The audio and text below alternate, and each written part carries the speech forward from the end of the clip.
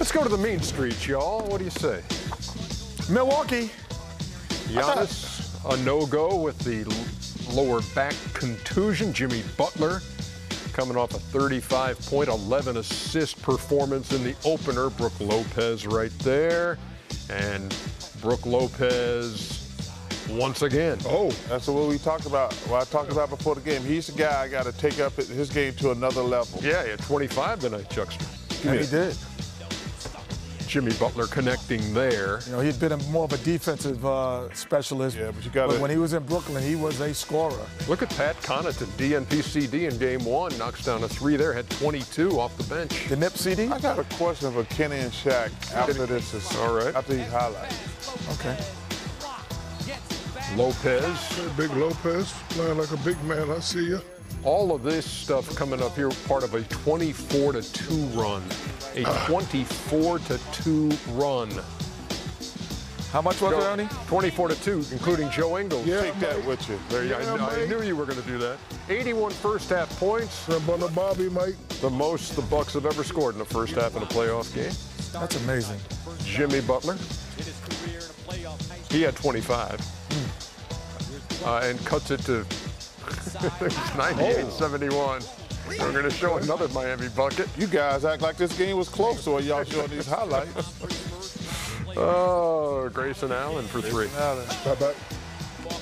Somebody cut these highlights who's praying for Miami. Oh, give me to something. Portis. Throw it down, Portis.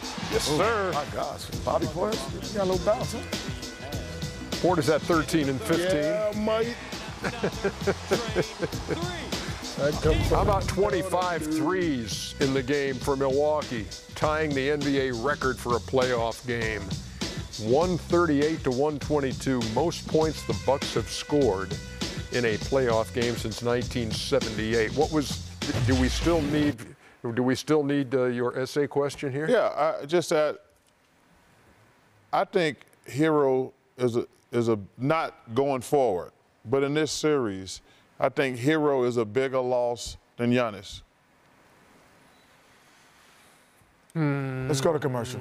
No, No, he's not bigger loss than Giannis. No, no, but I'm saying He's it's a for- big loss for No, no, Miami, no, but I'm not a saying- loss than Marshall. No, I'm talking about not going forward in the playoffs. I'm talking about for this series. Milwaukee got a much better chance of beating Milwaukee, uh, beating Miami without Giannis than, Mil- than Miami gonna beat them without Herro. Is my question. Herro's an integral part. But Yeah. the, the comparisons. No, I'm not. I'm, ta- I'm not comparing them as players. In this series. I'm talking in this, this series. If, if if Miami had Herro, and the Bucks didn't have Giannis, they could win. They can't win without Herro, but the Milwaukee can beat them without Giannis. Is my point. Shaq, you think? Uh, I don't think know. that's- think I don't that's know a if that's valid that- I don't know if that's valid. or was that? Uh, okay. I see what you're saying. I see what you're saying. It's- It's close. Huge losses for both teams, and, and you're but saying in this series, bigger. you think Milwaukee without Giannis, They can still win the series. yeah, and and, and Miami without Herro. They can't. No chance. All right, 138, 122 was the final score. Uh, and you wanted to get out, but you wanted to get that point out. Okay. But we still got. We got some more I know- commercials. I I know, know. y'all. We got some more damn commercials to show. You know the business. I know the business. Yeah. We're coming back with more in just a second.